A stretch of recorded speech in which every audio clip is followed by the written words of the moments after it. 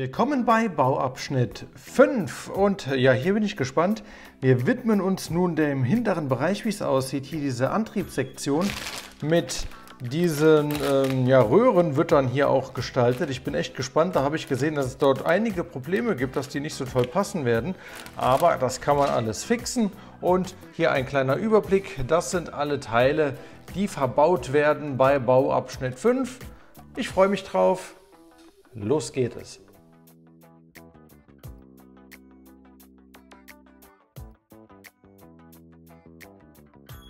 SOS, ein Teil wird vermisst. Hiervon von diesem Aufsatz bräuchte ich eigentlich zwei Stück. Hier kann man sehen, einmal hier, einmal hier und einmal hier ist frei. Ich finde das Teil nicht.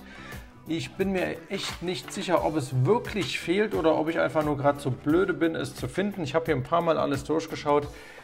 Es scheint wirklich nicht dabei zu sein. Vielleicht steckt es sonst wo. Bei dieser Riesenanzahl von Teilen ist das schwer zu sagen. Auf jeden Fall aktuell halten wir mal fest, da fehlt mal wieder was.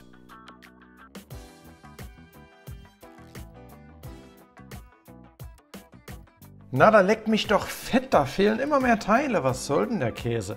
Also, wir haben nochmal fehlende Teile, und zwar zwei von denen hier, die nachher hier drauf montiert werden. Das hier wird schon ein Teil von der oberen Abkleidung, glaube ich. Und äh, das ist, äh, ja, hier werden die Teile verbaut. Da wird also dieses Element hier noch aufgesteckt. Deswegen ist das echt, ja, scheiße, dass das fehlt, denn da kann ich jetzt das Teil hier gar nicht richtig befestigen. Muss ich mal schauen, ob ich das irgendwie improvisieren kann. Ich habe auch in der Ersatzteilkiste nichts gefunden und mir fehlt noch zusätzlich eine 1x2er Fliese von diesem Rot hier und ja, hier ist nichts mehr drin. Ich habe wirklich alles durchsucht und habe dann die Ersatzteilkiste bemüht. Ist zwar die falsche Farbe, aber naja, ich sag mal so, besser als gar nichts und der Falke darf ja ruhig ein bisschen durcheinander aussehen. Aber äh, so langsam reicht es echt mit den falschen oder fehlenden Teilen. Mann, Mann, Mann. Leppin, äh, vielleicht taucht ja noch alles wieder auf und ich muss mich entschuldigen, aber soweit wird es mir langsam etwas viel. Also das ist echt nicht mehr cool, was hier abläuft. Hier fehlen so viele Teile. Schaut mal, die drei hier, die habe ich hier aus meiner, aus meiner Ersatzteilsammlung eben mal rausgekramt, denn die fehlen auch. Hier sieht man, was dabei sein soll. Ich habe nur noch einen von diesen 1x2ern gefunden. Und ähm, tja, die, diese dreieckigen, da war gar nichts mehr zu finden. Also habe ich dann hier nochmal zwei Stück rausgekramt und ähm, kann dann damit hoffentlich weiterbauen. Also entweder taucht hier noch eine Tüte auf, die ich falsch sortiert habe, oder ähm, da hat jemand bei Leppin in der Fabrik richtig Scheiße gebaut und eine ganze Menge Teile vergessen. Eins von beidem. Ich weiß gar nicht, was mir lieber wäre. Ähm, naja, okay. Wir versuchen einfach mal weiter unser Glück. Ich hoffe, dass ich hier alles einigermaßen noch zusammenbekomme. Mann, Mann, Mann. Also dieser Bauabschnitt hier, der war jetzt wirklich nicht besonders toll. Ich habe hier die beiden Teile, die kann ich nirgends befestigen, weil einmal äh, ja, fehlt hier dieses Element, was hier über diesen Zapfen drüber gesteckt wird, das habe ich einfach mal durch so eine kleine Fliese ersetzt oder so ein Einerstein. Aber ähm, naja, bringt mir eben nichts. Und ähm, hier habe ich zwar alles, aber ich, äh, ich kann es nirgends draufstecken. Da auch hier diese Elemente natürlich gefehlt haben, das ist schon irgendwie echt bescheiden, oder? Also bisher lief wirklich alles recht gut, aber das da finde ich jetzt wirklich kacke, wenn ich ehrlich bin. Das Einzige, was mich hier jetzt tröstet, ist, äh, das kommt hier auf die Unterseite. Hier kann man sehen, das Ganze wird umgedreht und wird dann hier unten dran befestigt. Von daher sieht man es nicht wirklich, wenn man jetzt nicht unten drunter schaut später. Ähm, aber dennoch ärgerlich. Echt ärgerlich.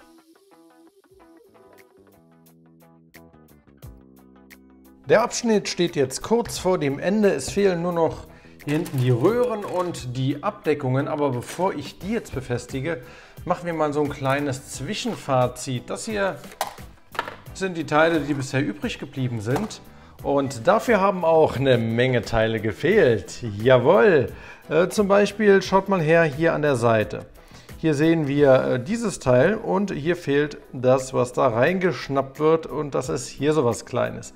Auf der anderen Seite konnte ich das beides verbauen, aber hier hat mal wieder ein Teil gefehlt, genauso wie hier unten drunter das eine Teil gefehlt hat, beziehungsweise ich kann die beiden Teile hier, ja hier unten drunter gar nicht verbauen, aufgrund der fehlenden Teile, äh, diese zwei Halterungen, wo die hier reingesteckt werden. Und äh, ja, ich ähm, kann nur sagen, das zieht sich einmal hier quer durch den ganzen Bau bei diesem Abschnitt. Also wirklich, wenn man es mal übertrieben ausdrückt, das hier ist ein Katastrophenabschnitt. Sehr, sehr viele Fehlteile. Hier habe ich noch einen kleinen, lasst mich kurz schauen.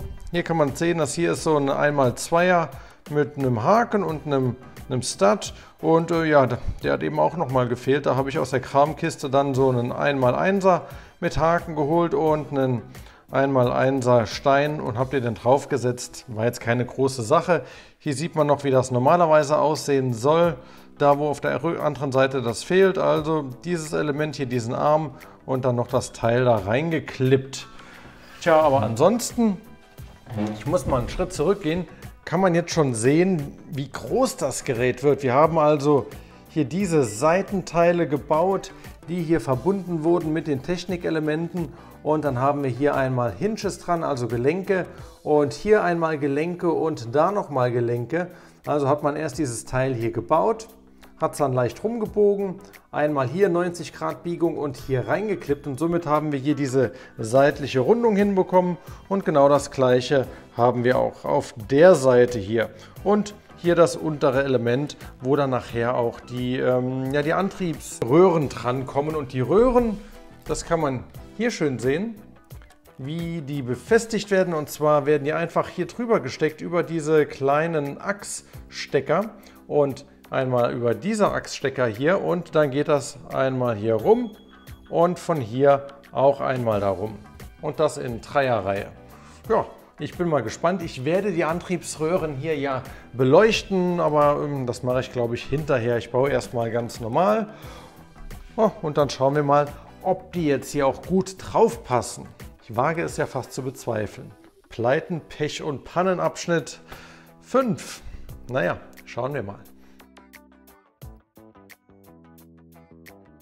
Und da wäre es geschafft. Der nächste Bauabschnitt ist die Nummer 6 und da wird hier die Frontpartie gebaut. Da freue ich mich schon total drauf. Aber wir werfen jetzt nochmal einen Blick auf unser Gesamtergebnis und ja vor allem hier hinten auf die Antriebseinheit. Und ja, da sind wir doch mal ganz ehrlich, das sieht scheiße aus, wenn ich ganz ehrlich bin.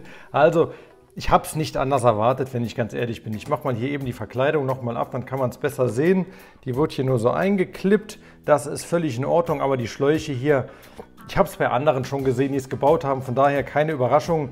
Ja, die passen nicht richtig, die sind zu lang, die muss man noch zusammenkürzen, damit die auch ordentlich hier sitzen und vielleicht auch noch ein bisschen zusammenkleben, dass das eine ordentliche Fläche dann wird.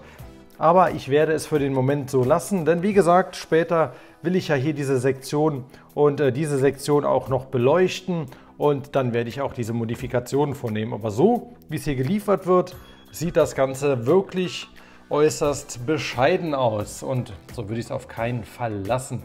Schaut mal hier, den kann man gar nicht hier richtig runterbringen. Das sieht, oh, also das ist wirklich, wirklich, wirklich, wirklich nicht schön. Ansonsten ja, finde ich aber, ist der Falke schon sehr schön geworden, auch wenn Bauabschnitt 5 hier ja, als sehr schwierig zu bezeichnen ist. Mit vielen, vielen Fehlteilen, viele kleine Fehlteile. Vielleicht tauchen sie noch auf, vielleicht nicht mehr, keine Ahnung. Wer weiß das schon. Allerdings bin ich immer noch zufrieden mit dem ganzen Set und freue mich darauf, weiterzubauen. Also packen wir nochmal hier die Abdeckung drauf, denn wir werden es ja erst einmal so lassen. Und vor allem kann man jetzt schon sehen, dass das ein Riesenteil wird. Jetzt, wo die Rundungen hier rankommen, wirkt das Ganze viel, viel voluminöser und ja, der wird echt riesig groß. Ich freue mich drauf. Jetzt geht es an Bauabschnitt 6 und auf den freue ich mich so richtig, denn da bekommt der Falke seine komplette Größe verpasst, denn wir bauen, so sieht er ja momentan aus, den ganzen vorderen Bereich mit den beiden Hörnern und ja, da freue ich mich echt drauf, denn dann sehen wir endgültig, wie riesengroß das Gerät hier wird. Und wenn man sich das mal so anschaut, ja, das wird ein Haufen Technikgebaue. Da bauen wir wieder so ein richtiges Technikgerüst auf und ein bisschen Verzierung hier schon an den Seiten. Also ich bin gespannt. So sieht das Material aus, das wir für den Bauabschnitt zur Verfügung haben werden. Und dann würde ich sagen, legen wir direkt mal los. Aber, ah ne, einen Moment. Eine Sache wollte ich euch noch zeigen. Die beiden, die habe ich ganz vergessen. Im Bauabschnitt 5 waren ja noch die beiden Minifiguren dabei. Han Solo und Prinzessin Leia. Und äh, werfen wir mal einen Blick drauf. Ich finde, die sehen eigentlich ganz ordentlich aus. Han hat eine schöne Frisur. Er sieht sehr ja, frisch und jugendlich aus. Auf jeden Fall, das hier ist ein junger Han Solo und eine junge Prinzessin Leia. Gefallen mir eigentlich ganz gute Figuren. Wenn ich mal rumdrehe, seht ihr, dass Leia auch äh, ja, so, einen, so einen gebundenen Zopf um den Kopf rum hat. Hahn hat eine lockere Frisur und äh, sie haben auch einen Print auf der Rückseite. Alles gut soweit. Hahn mit so einem Standard Blaster und sie haben Wechselgesichter. Äh, bei Leia kann ich euch es nicht mehr zeigen, denn das Problem ist ja immer hier bei diesen Lepin-Figuren. Wenn man da die Frisur abzieht, hat man direkt den ganzen Kopf in der Hand. Äh, ja, ist bei Lego einfacher, aber bei Hahn da habe ich die Haare nun mal ganz, ganz locker draufgesetzt. So kann ich euch zeigen, wie das Wechselgesicht aussieht. Das ist dann mit so einer Atemmaske. Äh, das war, als sie mal draußen waren und haben diese Viecher vom Falken entfernt. Da hatten sie ja diese Atemmasken aufgehabt. So, also wer da so ein Wechselgesicht ab und zu mal einstellen will, die Frisur bitte nur ganz, ganz leicht aufsetzen. Einmal festdrücken und das war's. So, hallo Lea, abgehakt. Jetzt geht's an den Bau.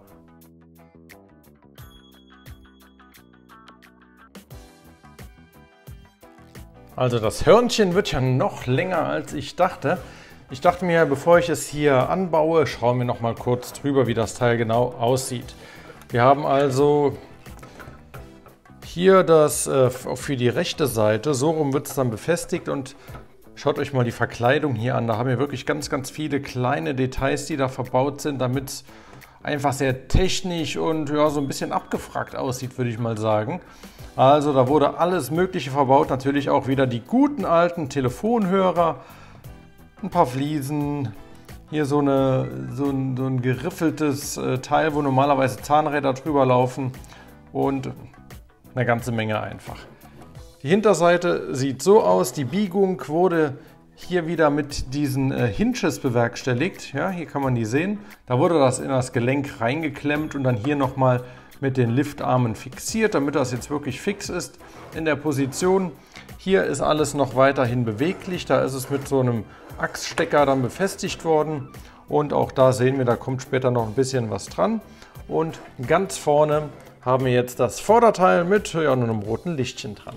So, auf jeden Fall ein Riesenteil, wenn ich das mal so nehme und einfach mal auf den bisher gebauten Falken drauflege, seht ihr, das geht bis hierhin. Das ist fast genauso lang, äh, ich würde mal sagen, vier Fünftel ja, von der eigentlichen Länge des aktuellen Sets. Also wenn ich das noch hier vorne dran baue, da wird das Ding echt noch riesiger, als ich dachte.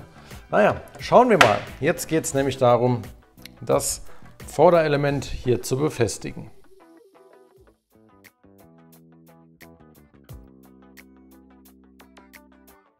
Mittlerweile sind wir auf Seite 145 und Bauschritt 6 ist fertig. Der siebte steht an und äh, ich habe gute und schlechte Nachrichten. Oder zweimal gute. Einmal, äh, es haben keine Teile gefehlt und äh, es sind eine ganze Menge Teile übrig geblieben. Das waren die beiden guten Nachrichten. Die schlechte Nachricht ist, mein Tisch wird langsam zu klein, also schaut mal her. Jetzt kann man wirklich die ganze Größe vom Falken erkennen. Jetzt hier mit den angebauten Vorderteilen. Und die sind echt mega groß. Das wirkt jetzt ganz, ganz anders. Und das waren eben auch jetzt die äh, Bauschritte, einmal auf der rechten Seite, einmal auf der linken Seite. Deswegen brauche ich nicht mehr viel zu erzählen. Genau das gleiche einmal noch umgekehrt, was ich vorhin schon erzählt habe. Und tja, schaut ihn euch an. Der Falke wächst und gedeiht. Ich bin gespannt. Bei äh, Bauabschnitt 7 werden wir dann hier schon die Abdeckungen langsam bauen und äh, die Platten für die vordere Verkleidung, wie es aussieht. Ja, wird auf jeden Fall eine schöne Sache. Ich freue mich schon, um weiterzumachen und genießt einfach nochmal das Bild des Falken.